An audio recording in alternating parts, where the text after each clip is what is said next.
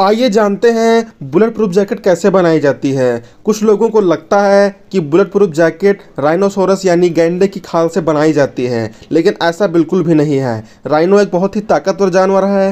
Rhino की खाल केवल छोटी पिस्टलों की बुलेट, जैसे three M M four M M की बुलेट को रोक सकती है। राइनो की खाल ए के फोर्टी सेवन जैसे हाईटेक राइफलों की बुलेट को नहीं रोक सकती है।